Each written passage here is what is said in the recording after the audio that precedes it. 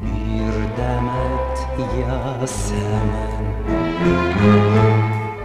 Aşkının tek hatırası. Tüm mal varlığını Türk Eğitim Vakfı'na ve Türk Silahlı Kuvvetleri Mehmetçik Vakfı'na bağışlayan değerli sanatçımız Zeki Müren'i rahmet ve şükranla anıyoruz.